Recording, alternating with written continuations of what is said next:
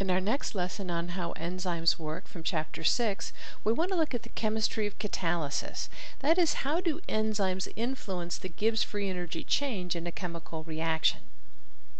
First of all, it's important to recognize that they cannot change the direction of a chemical reaction. They cannot influence the equilibrium or balance of that reaction. More on that in just a moment. Instead, they function by lowering the activation energy, the E sub A, and that speeds up the reaction.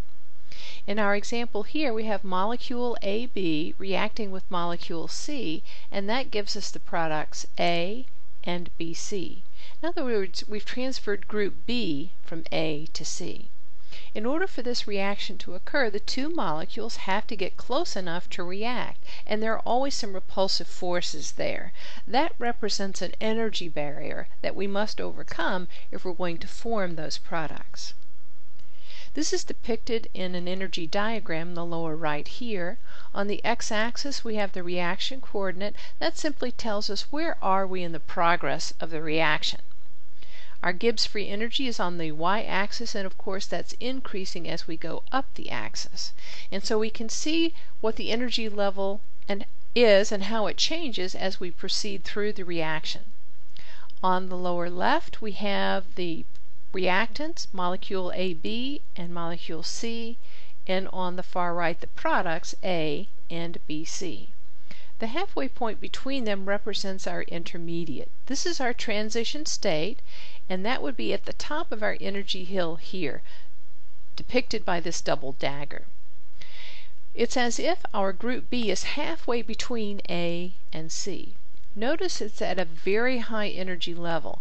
That means it's very unstable, and because of that, the lifetime is very short, less than a picosecond.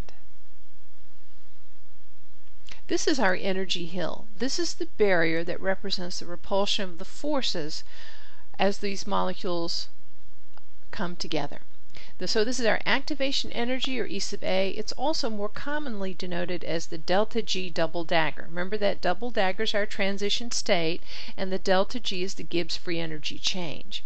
Notice that it's the change associated with the top of our hill here, our transition state, and our starting point here of the reactants. That's our delta G double dagger and that represents the amount of energy our reactants must have in order to reach the bottom of the hill on the other side and make products. So the higher that energy hill is, the fewer molecules we'll have that will have enough energy to climb the hill and make the products. What we want is some way to lower that energy hill so that we can make more product in the same amount of time. Now if you're at the top of that hill, here's our transition state here, and as depicted here, we could easily roll either way down the side of that hill. In other words, we could reach that transition state, and remember that's very unstable, and instead of forming products, we could slide down the other way and go back to reactants. So this is important to recognize that not every reaction gives us product. It could go either way. In this idealized case, as you can see, the energy of our reactants and products is the same, so there's really no preference to go one way or the other. This rarely happens. Usually a reaction favors either reactants or products, as we'll see. And that's depicted here. So in our energy diagram in the lower left, we see here our, our reactants and our products at our lower energy level. So the delta G of the reaction, and remember that's always products minus reactants, would give us a negative value. And just as we saw before, if delta G is negative, that represents a spontaneous reaction. We released energy, we didn't have to input energy. On the far right, we see the case of a non-spontaneous reaction, where the products are at a higher energy level than the reactants, and so we had to actually input energy to make that happen. That would be a positive delta G.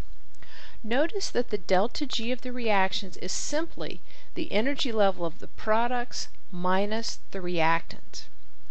And that will be the same no matter how high or low that energy hill is.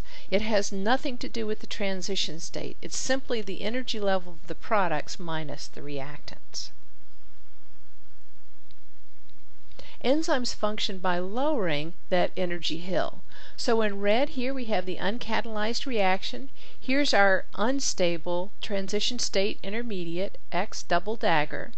And you can see a very high energy hill here, so very few reactants would actually get to the top of that hill and make it down to the other side to form products. So that's the delta G associated with that change is the delta G double dagger of the uncatalyzed reaction. Enzymes function by lowering this energy hill, and that's pictured in blue here. So here's our uh, X double dagger, our intermediate, and you can see it's far less unstable. It's more stable, and therefore we have more molecules that can get to the top of that energy hill and make it to the products here. So the delta G of the catalyzed reaction, that is the delta G double dagger of the catalyzed reaction, is much less. Now you'll notice it did not change anything with regard to the final end of the final energy of the products minus the reaction. Remember, that's the delta G of the reaction. It does nothing to change that. All it can do is change the delta G double dagger, that energy hill. And this is what we mean by it can't change the equilibrium. It can't make a spontaneous reaction non-spontaneous or vice versa. All it can do is make it more likely that the reactants will form the products, that is, it lowers that energy hill. In our next lesson, we want to look at some common catalytic mechanisms, and we'll find that enzymes often work with other helpers, other cofactors, and we'll see how that functions.